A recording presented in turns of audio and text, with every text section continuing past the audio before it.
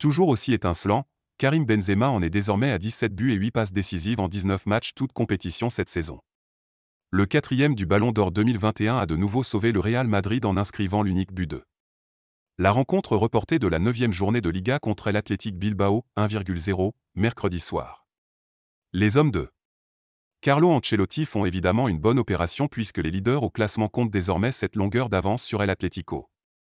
Qui a encore un match de moins au compteur, ainsi que la Real Sociedad, le prochain adversaire de la Casablanca. Samedi, à San Sébastien. Peu brillant dans le jeu, les Merengues ont trouvé la faille sur une action bien confuse avant la mi-temps, 40. Une frappe ratée de Luka Modric étant prolongée au fond des filets par KB9. Les lignes ont ensuite largement dominé les débats.